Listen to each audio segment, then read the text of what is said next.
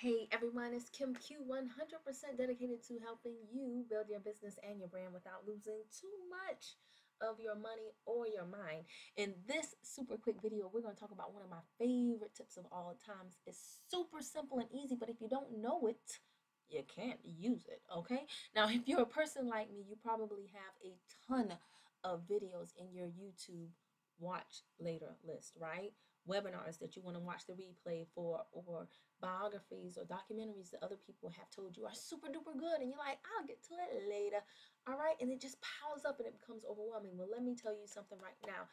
This one tip, which is increasing the speed at which you hear the video, you hear the speaker, or the audio is played back will save you a whole bunch of time. You can decrease the speed as well. So if you get someone who's talking super duper fast, you can slow them down. But I'm telling you, if you increase the speed, doesn't seem like much, but I promise you it adds up. Love it. Now, I'm not going to actually be able to play the audio because it somehow uses the same microphone. This particular program that I'm recording the screen on uses the same microphone that I'm speaking on, so you wouldn't hear it. But I'm just going to show you where to find it on the YouTube video, okay? So when you normally go to a video, um, this wheel right here is usually set to where the speed is, it's usually set to normal. And if you saw what I just did, that's all you have to do. When you come to the video, click on that wheel, go to speed, and either slow it down or speed it up. Double the rate is usually like way too fast. It's like, it sounds kind of like, other than chipmunks, you know, it's like that.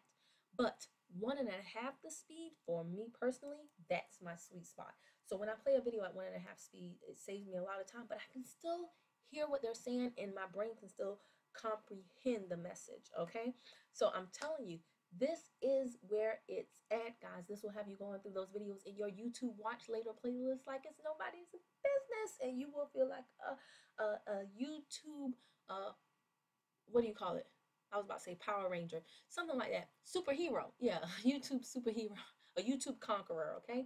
Um, and this is super important because a lot of successful people, they do just this. Speed reading, they learn how to supercharge their learning and, and compress time frames when they are taking in information. So take this tip, use it, go out there, share it with people, click thumbs up if you like it, leave me a comment, and subscribe to my channel so that when I put out these videos, you're the first to know. And if you're not already doing so, follow me on uh, Periscope. Download it to your phone. Follow me at KimQ10K. We have a lot of fun over there where we have live interactive trainings, okay? And if you've never caught one before, go look at the archives. Don't believe me, just watch me, okay? go to the archives over at KimQTV.com and, and check us out. Me and the Scope of Stars, we're really like getting some major stuff done on Periscope, so you should be a part of that. Don't want to leave you out. All right, I'll see you in the next video. Thanks for watching. Bye.